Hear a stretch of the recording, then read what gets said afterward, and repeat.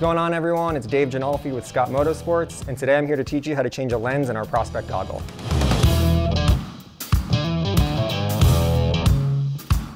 So right off the bat, a big misconception is that our outriggers have something to do with the lens locking system, which it doesn't.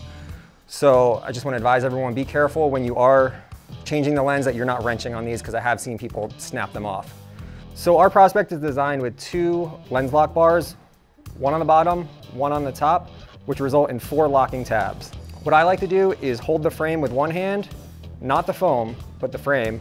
With my thumb, grab the lens lock bar, pull the first tab out, same deal, second tab. Then I use another finger for the bottoms, just makes it simple, and then out comes the lens.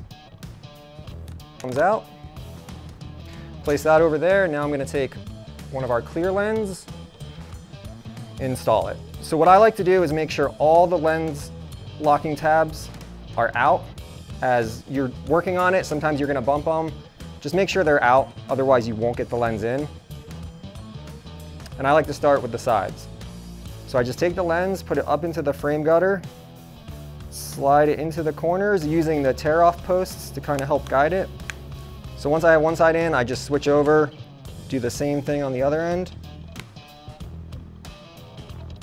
Then again, this is all preference. It could be, you could do the bottom, the top, whatever you want, but this is just how I do it. And the, also the thing about our system was it wasn't meant to be as fast as you can do it or anything like that. It was all about safety. That was the result we were going after and that's what we achieved. So once it's in and the tabs are down, this lens, no matter how hard you pull it, this goggle, this lens isn't coming out. And that, that's what we wanted and that's what we got. So hope that helps and thank you.